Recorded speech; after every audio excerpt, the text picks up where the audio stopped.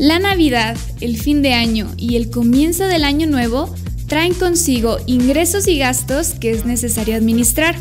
El docente Víctor Hugo Galicia nos da buenos consejos para aprovecharlos de la mejor manera y evitar la cuesta de enero.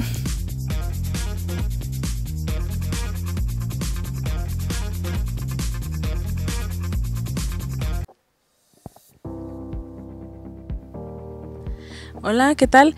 El día de hoy nos encontramos con el maestro Víctor Hugo Galicia, maestro de la Unidad Académica de Contaduría. ¿Cómo se encuentra el día de hoy, maestro? Muy bien, muchas gracias. Aquí con el gusto de saludarlos y de estar con ustedes en esta otra emisión. Maestro, nos gustaría que el día de hoy nos hablara sobre aspectos a tomar en cuenta para crear un presupuesto de fin de año.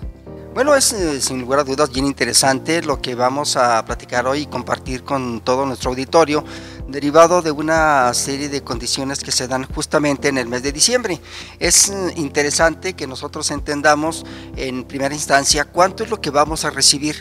Eh, por ejemplo, cuando estamos hablando del aguinaldo, cuando estamos hablando de nuestra quincena, de nuestra mensualidad, eh, si lo que vamos a recibir es por quincena, por semana, por mes, si lo vamos a recibir todo, todo completo en el, en el mes.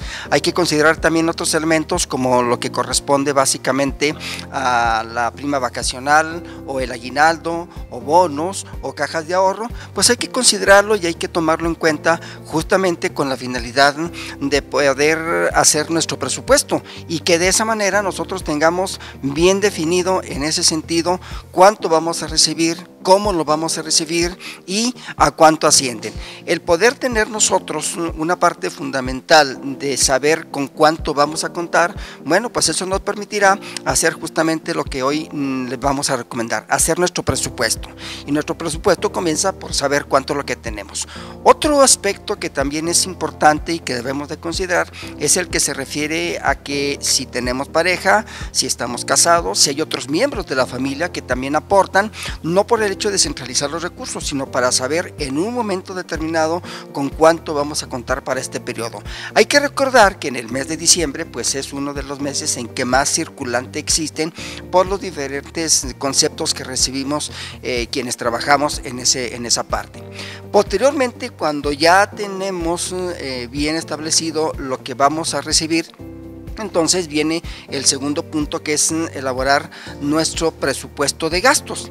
¿A qué se refiere el presupuesto de gastos? Bueno, pues aquí es importante considerar nosotros los elementos en los que vamos a destinar dichos recursos. Y tenemos que comenzar por aquellos eh, recursos o por aquellos conceptos que son más costosos. Por ejemplo, las tarjetas de crédito, los créditos para coche, los préstamos personales. En la medida de nuestras posibilidades es importante que nosotros pues eh, consideremos cuánto vamos a destinar para ello.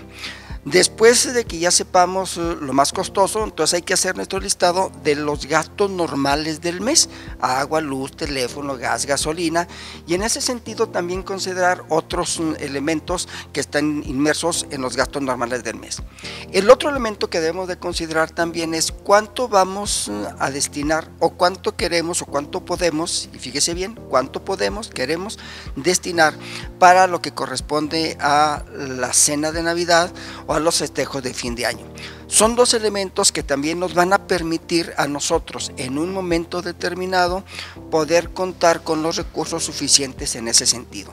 Aquí es a lo que queremos llegar. Bueno, ya tenemos nuestro presupuesto bien planteado, bien específico de cuánto vamos a recibir y posteriormente viene la parte fundamental que es cómo los vamos a destinar. ¿Cómo vamos a destinar estos recursos?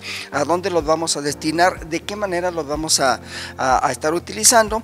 A tal grado que nos permite a nosotros elaborar de una manera más eficiente y además racional ese conjunto de recursos en ese sentido. Porque hay que recordar, en el mes de diciembre tenemos dos festejos importantes. Uno, lo que es la Navidad y otro, lo que se corresponde a los festejos de fin de año. Y aquí hay que considerar si en un momento determinado los festejos de fin de año los vamos a hacer en dónde? En casa, vamos a salir, vamos a ir de vacaciones, decir cómo los vamos a destinar. Y para ello es importante decir con cuánto voy a, contar cuánto quiero destinar, ¿sí? De qué manera lo voy a utilizar y en ese sentido que tengamos nosotros bien presente y bien, y bien conscientes esos recursos para que más adelante no vayamos a tener problemas. Y eso nos da pie justamente a prepararnos para el otro elemento que se refiere, ¿verdad? Sí. La siguiente pregunta sería, ¿cómo podemos evitar la cuesta de enero? Bueno, aquí hay una parte muy interesante y, yo creo que toda la gente que nos está viendo, nos está escuchando, pues también podrá considerar que la cuesta de enero es un fenómeno que se da principalmente en los países latinoamericanos. Es interesante que nosotros sepamos, que conozcamos y que entendamos ese, esa, esa parte. La cuesta de enero es un fenómeno que se deriva por los compromisos normales que se tienen que cubrir de inicio de año. En México, por ejemplo, pues están los pagos del predial, está el cambio de el, cambio de el pago de, tenencias, de placas, colegiaturas y luego vienen los gastos normales del mes también, agua, luz, teléfono, gas, gasolina. Entonces, ¿qué es lo que tenemos que hacer nosotros para poder considerar justamente lo que es la cuesta de enero? Bueno, pues en base a lo que dijimos anteriormente respecto de lo que representa para nosotros los ingresos que vamos a recibir, pues es importante también considerar los elementos que vamos a, tomar en cuenta para afrontar la cuesta de enero, que tiene que ser lo menos gravoso que sea posible y, estar preparados desde el punto de vista de lo que puede representar en los gastos, en las erogaciones que nosotros realizamos. De manera, ¿cómo lo vamos a enfrentar? Bueno, igual como hicimos desde el punto de vista de lo que representan nuestros gastos normales del mes o de la semana. Bueno, muchas gracias por habernos acompañado el día de hoy y nos vemos hasta la próxima.